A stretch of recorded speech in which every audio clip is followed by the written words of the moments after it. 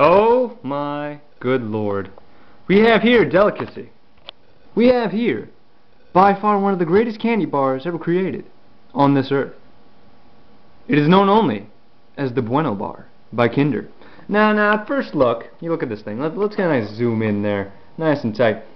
It looks like um, it's filled with some sort of cream, but you're half right. It is a cream, more like a uh, a butter base, if you will. Now, the cream itself is actually quite nice, but before we get into all of that, let's let's just take a look at this. I got this from a 7-Eleven, which uh, actually surprised me as much as any of you right there. I can't believe 7-Eleven would sell this. It's probably it's head and shoulders above anything else they sell there. But overall, I mean, what a nice find. It was uh for those wondering in Chicago. It's on Clark and Drummond. Well, it's near there. It's not exactly on there. But uh, all those Chicagoans on the north side, eh, maybe they'd know. Now, let's crack this bad boy open. I had to resist from eating this thing. I mean, it's beautiful. Now, take a look at this. It comes pre-wrapped in about uh, two of them. And uh, just, just look at these beautiful babies. Look at these. My God. My God. I mean, if heaven were chocolate bars, which, from all accounts, I'm assuming it is, these two guys would be at the gates. No.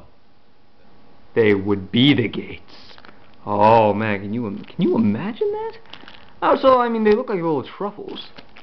But let's crack these bad boys open, which is hard to do with one hand.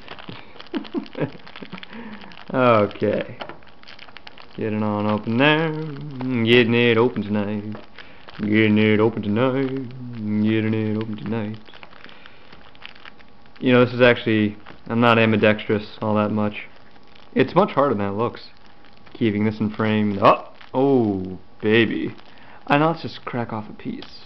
Oh, nice, nice crisp snap there. It resembles a Kit Kat bar at first. Now take a look at it, it doesn't look all that impressive. But wait till you get to the buttery goodness. Mmm. Mmm. Oh, look at that. Look at that. I must say, this butter is truly unparalleled. I don't think I've ever eaten a candy bar with this much buttery goodness. And the fact that there's two of them here, well, color me impressed. yeah. Mmm. Oh, okay, I gotta, yeah, put that right there. Overall, you get a chance. Of, I bought this for about um 149. I paid maybe 160 something with tax. Definitely, definitely worth the purchase. Hell, get it on Amazon. 30 of them for like 40 bucks or something. Mmm. Yeah.